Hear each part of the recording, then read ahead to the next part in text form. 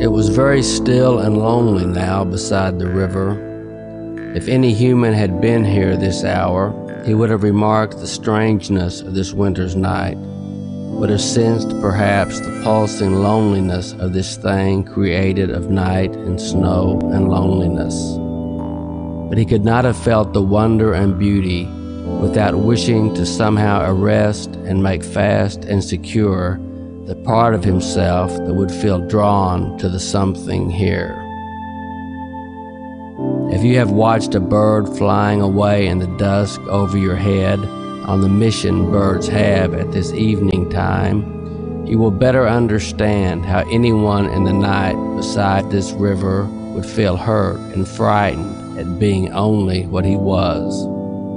He would feel only the sense of his corporal presence and would surely realize it insufficient to the knowledge needed to become a part of this thing of night and loneliness. He would have been a liver in cities, the definite little men who live in little cities built to a giant's plan. I would not speak of that. We are not snakes to crawl from out that which we are into what we cannot ever be.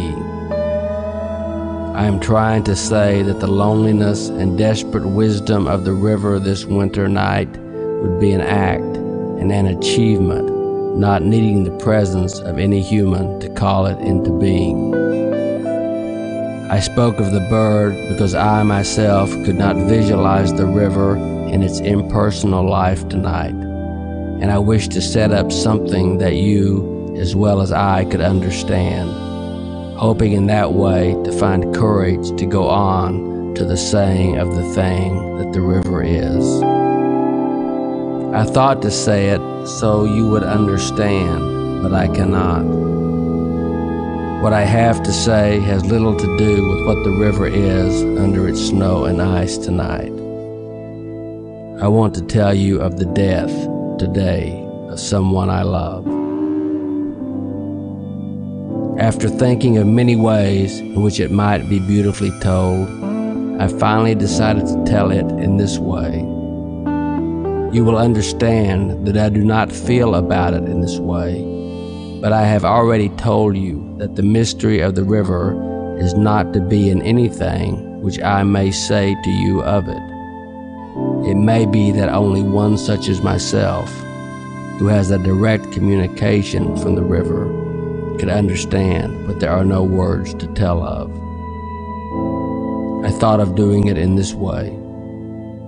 I would write the history of this river, a history covering one day. Early this morning, I would say, there was a light fall of snow. Later in the day, a thick blanket of snow fell, covering and obscuring all traces of the life which had moved over the ice. And finally, I would go on.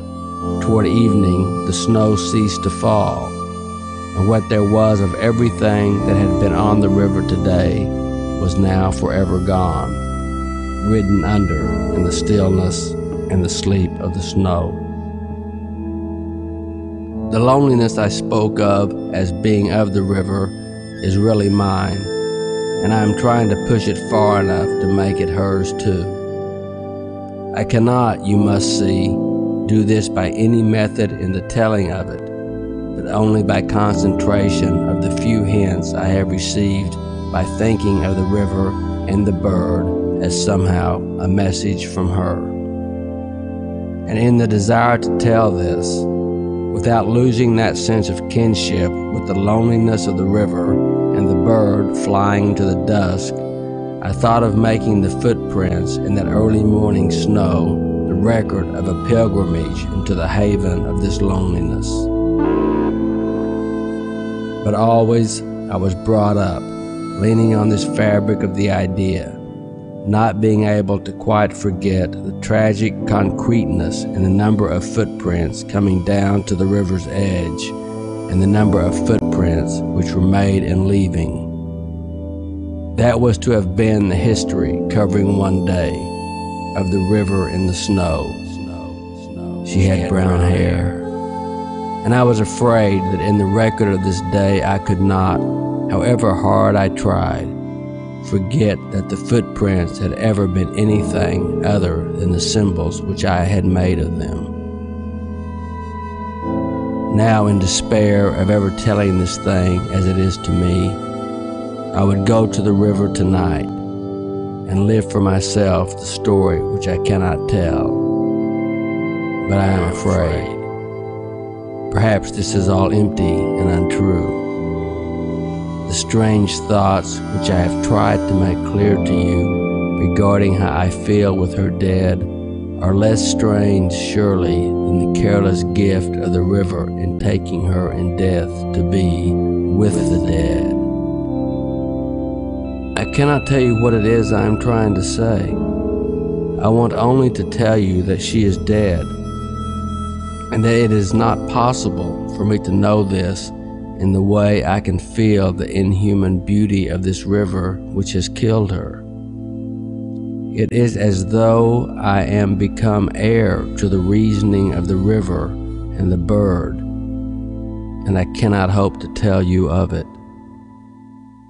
In the morning, there were footprints leading down. But this is not the history of the river covering one day but I want only to tell you that she is dead and